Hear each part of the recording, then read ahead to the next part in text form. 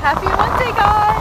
Today I'm in Barcelona and I'm loving it. It's gorgeous weather here. Um, it's a little bit windy so hopefully you can hear me. Um, but yeah, the sky's kite, surfing and uh, enjoying the beach and it's gorgeous. So what have I been up to this week? Well, I have been to Montpellier, uh, exploring the south coast of France and um, I actually bivvied out. For those of you that see my photo, my video, I found like a bear found me in the night, it's scary. Um, but it's been a great fun to explore the coast and as I say now in Barcelona, enjoying the sunshine, catching up with my friends, it's been such an awesome week.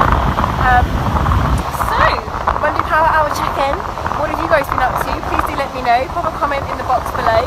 Um, this coming week I am going to be prepping for my walk home for Christmas, so I'm leaving the Yes Bus Christmas party, um, which is in Shepperton. I'm going to head up to Waterloo and then walk for 24 hours to get back to Newmarket, so 60 miles. Um, so it's 20 hours of actual walking and I've got allowed 4 hours uh, for rest breaks, for, for food, that sort of thing. Um, but I'd love to know if anybody else is having a cool way of getting home. I know Andy you're going to be cycling, which is awesome. Um, but anybody else, just hit me up in the comments below as I say, let me know what you're up to. Um, I'd love for you to follow my journey and um, give me a like on this video if you're liking my Monday Power Hour check-ins.